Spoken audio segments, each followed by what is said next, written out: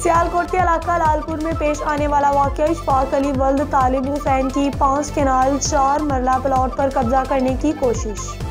Crime reporter Yasir Ali की report के मुताबिक इशफाक अली वल्द तालिब हुसैन की पाँच केनाल चार मरला प्लॉट पर कब्जे करने की कोशिश की। गजाला बीबी जोज मोहम्मद अकरम के रोकने पर कब्जा करने वालों ने डंडे सोटों से मारना शुरू कर दिया।